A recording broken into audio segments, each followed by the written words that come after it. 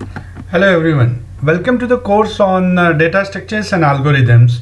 In this particular video we are going to talk about threaded binary tree which is uh, uh, even sometimes called TBT in short. Before we go to threaded binary tree, let us first try to understand a binary tree which we have already discussed in our previous video but let us quickly go through it. So supposing this one is a binary tree, the condition for binary tree is very simple. The number of child cannot be more than 2. Uh, every node can have maximum 2 child. So this is a binary tree. Now if I represent this binary tree using you know our structural representation for example if I take this 1000 as 1000 2000 3000 4000 these are let's say addresses of various nodes alright? Then what we are going to do we are going to put these addresses over here. For example the left side of this particular node will be containing address 2000 so you can see this here 2000 the right side of this particular node will be containing address 3000 so it is stored here. Then the left side of 2000 will be containing 4000 and right side will be containing 5000 so 4000 and 5000 similarly the left side of c is null whereas the right side of c is 6000 so left side of C is null, right side of C is 6000. And for all this E, F and G, the pointers are null, null and null. Alright. Now you can see there are so many null pointers. There are so many null pointers. You can count that 1, 2, 3, 4, 5, 6, 7 or like if you have another tree you can have more null pointers too. So the thing is can we use these pointers where null is stored so rather than null can we store something else so that I can go back because in binary tree you know you can only go in this way from up to down. Whether this is that or this is that but there is no way you can go up from last node to first node. Why? Because we don't store the addresses in this way.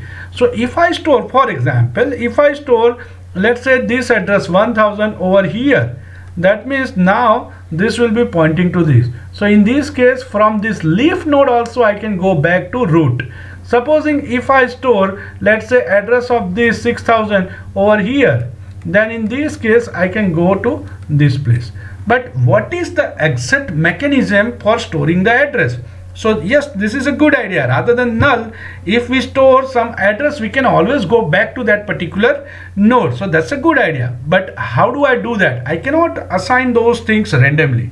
So for that, the idea is threaded binary tree. So in threaded binary tree, what do you do?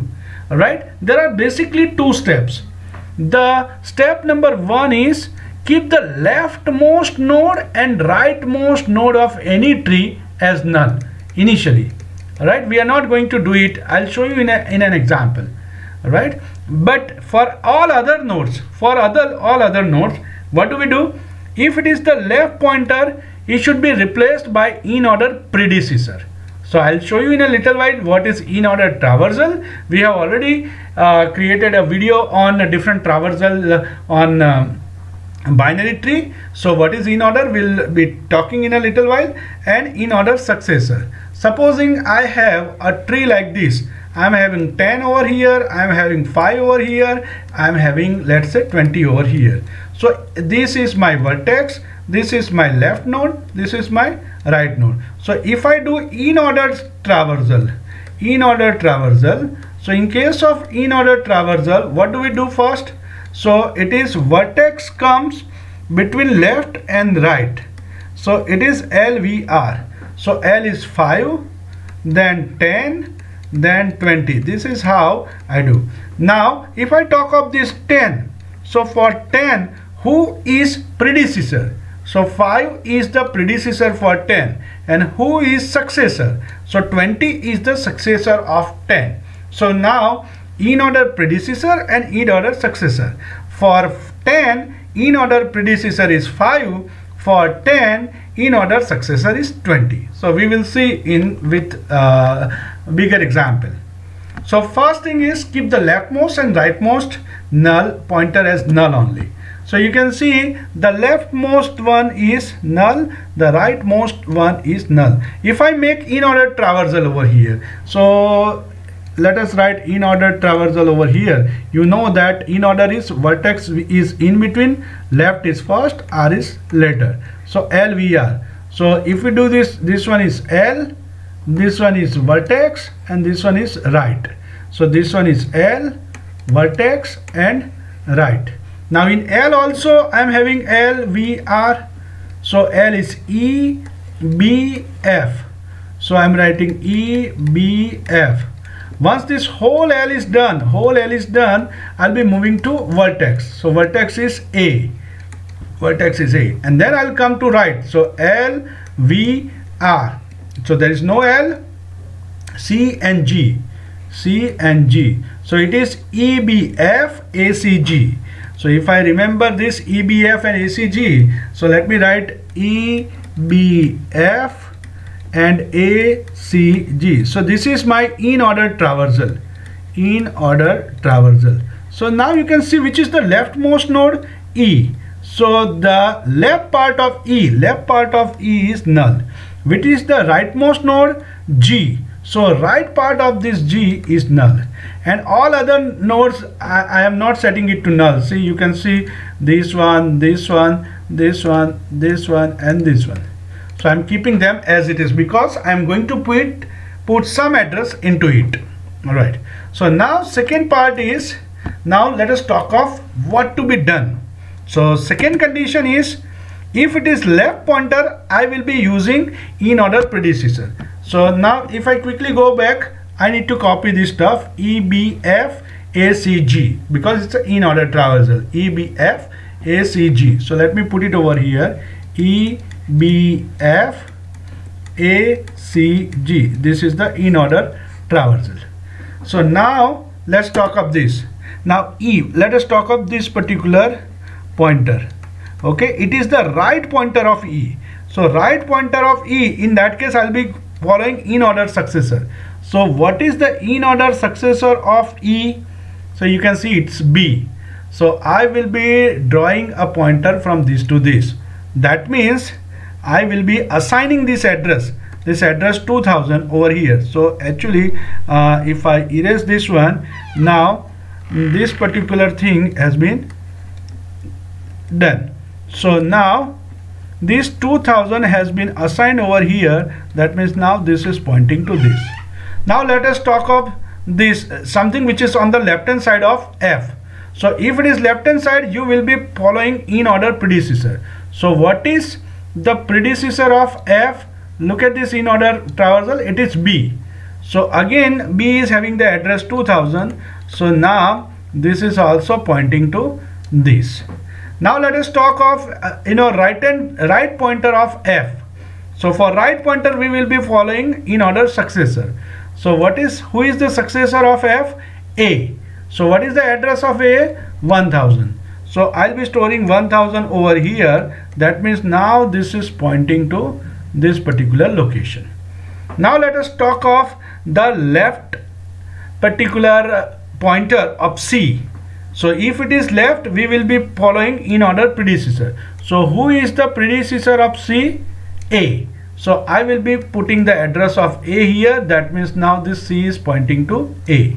And last is this G. And it is the left pointer of G. And if it is the left pointer of G we will be following in order predecessor. Who is the in order predecessor of G? C. So the address of C is assigned here. That means now this is pointing to C so this is how we will be assigning all those different pointers in a specific manner in a specific step. But till the left and rightmost pointers are null only. So what to be done with them? So for them so this is all that we have discussed. So now how do I know that pointers point to parent node or some other node? Because now the thing is you know over here supposing I am having you know a node like this a node like this and supposing this one is pointing to this and this one is pointing to this so in this case you can see that eh, if I write A B C D something like this A B C D E F G something like this then the E is pointing to B which is its parent. B is a parent of E but F is pointing to A for example which is not its direct parent it's a grandparent.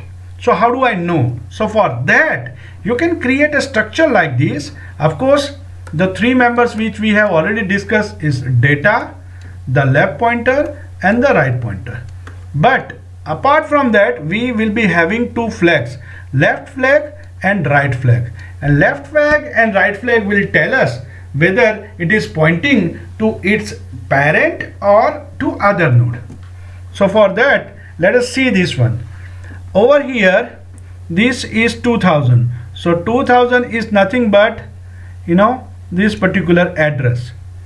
All right that means it is pointing to its parent.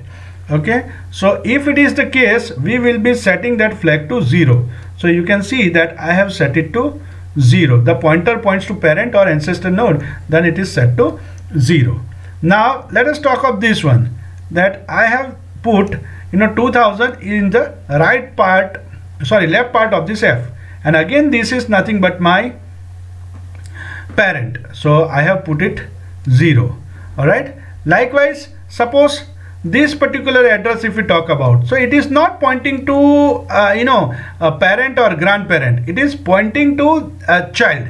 So if this is case I will be setting it 1 so all upward pointers all upward pointers I will be set 0 and for all downward pointers I will be set 1 so if this is going down I'll be setting 1 if this is going down I'll be setting 1 if this is going down I'll be setting 1 but if this is going up I'll be setting 0 so this is how you can differentiate.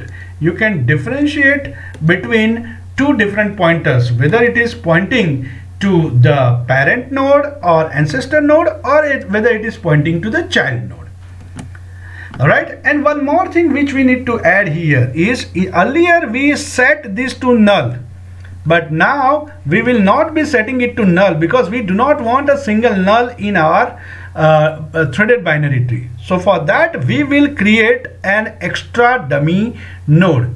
And that dummy node because it's a dummy node we are not going to put any data. There is no data inside it. All right and the left pointer of that dummy node points to the root and the right pointer of that dummy node points to itself. For example the address of dummy node is 7000 the right pointer points to itself.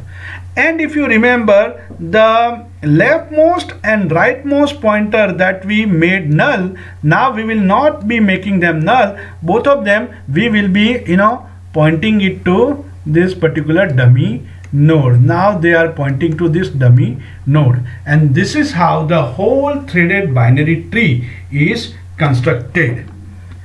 So we can have just an example over here an exercise over here for creating a threaded binary tree. So very first thing is i need to you know do that in order uh, traversal. So in order traversal is i know vertex is in between left is first right is le later so it is lvr so it is l then this is v and this is r. In L, this one is l this one is v this one is r. So in this one also now I am having uh, you know uh, subtree like this is L this is uh, R and this is V. So L V R so this H D I H D I and then this whole left is over then I'll be moving to vertex V which is B.